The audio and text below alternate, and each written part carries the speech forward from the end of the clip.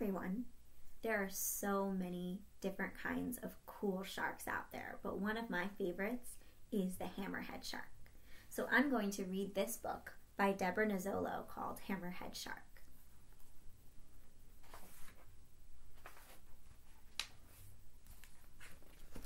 Hammer for a head.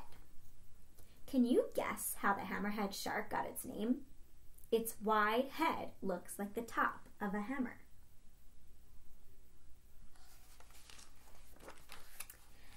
Hammerhead sharks live in warm, shallow seas.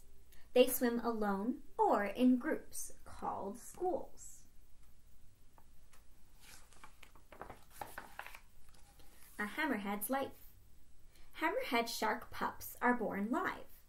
Between 6 and 42 pups are born at one time.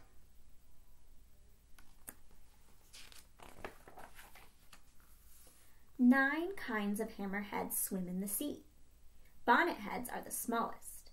Great hammerheads are the largest. Here you can see the bonnet head is about 5 feet long and the great hammerhead is about 15 feet long.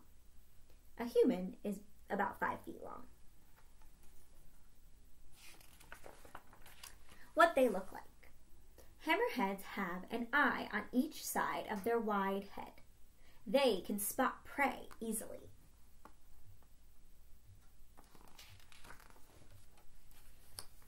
Hammerhead sharks have two dorsal fins on their back. Dorsal fins help sharks keep their balance while swimming.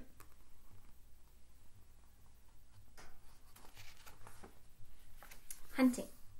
Hammerhead sharks hunt fish, stingrays, and other sharks. They eat crabs and squid too.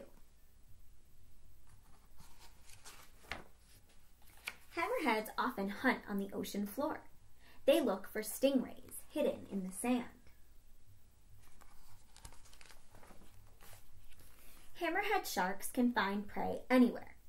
It's not easy to hide from these amazing hunters. The end.